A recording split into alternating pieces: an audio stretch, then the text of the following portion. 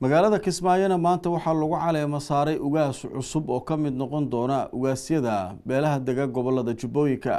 Wariyaheena xasan nuur maxamed ayaa munaasabadaasi tegay warbixintan ayuuna nooga soo diray.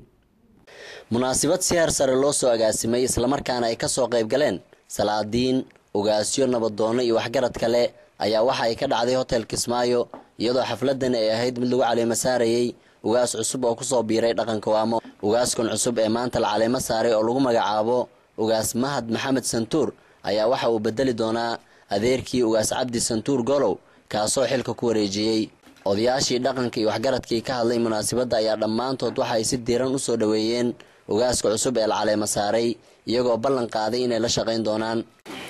Odaygii wuxuu u idmaday wiilkii walaalkiis maxamed santuur u dhalay mahad maxamed santuur in muxuu ahay xilkii uu ku wareego u idmaday ummadda soomaaliyeeday waxaan idinku yeeray intaas inaad nala qaadaan mas'uuliyaddaas soo jireenka ah dhaxaltooyada ah.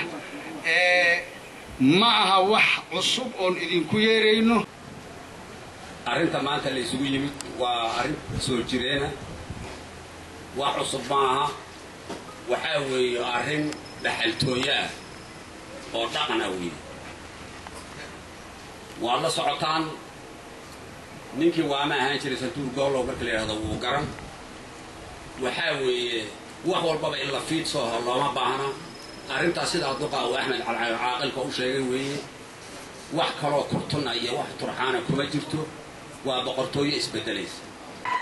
Haddii dad la yaqaano mahad ciyaalkii kismaayo garangarta ku wada jiray waayo idinka awowgii baad aadeen santuur goolle waa soo gaadhay santuur goolloo nooloo shaqeeyanayo siduu u tilmaamaya xiiray odiga ah waa garaadsaday. Aabihiis ma arag maxamed aniga oday kalow iska ahaa. Khaliif waa aqaanaa cabdina waa aqaanaa waxaa farxad weynii ah jiilkaygii inaan weli xoogaa ka weyn hanu malaynaya jiilkaygii hadduu isin noqday dadkii tolkii uu ka dhashayna uu keensaday. Baasha waayahan dad ajaabab kala soo baxaya ama meelo kale ka imaanayay annagana waxaan maanta nasiib u yeelanay inaan ku soo gaarno caleemasaarkii dhaxaltooyadaas qaybtii saddexaad ee ugaas mahad maxamed ugaas santuur gool.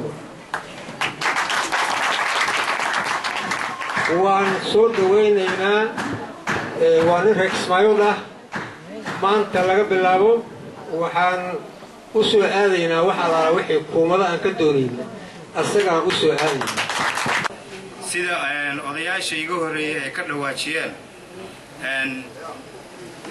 middaa oo ah mid dhaxaltooya oo ka soo bilaabatay santuur golow annagu reewaamaan nahay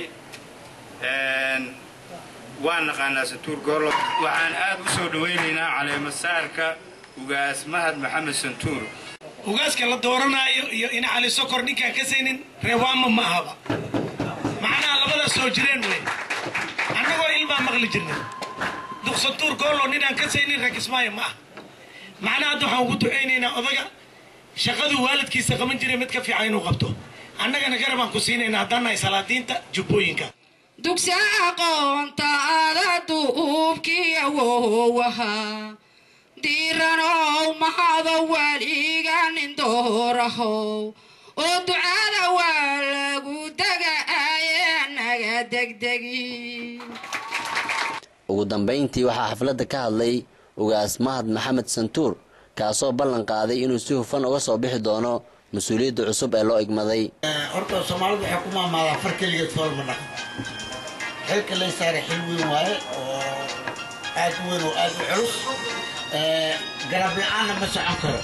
Waxaan filayaa maadaama xilka maanta ay ugu wareejiseen inaad garba ii noqotiin anna aan ka dheeraado cadaalad darrada iyo eexda iyo khiyaanada xasan nuur maxamed tv-ga caalamiga ee kalson magaalada kismaayo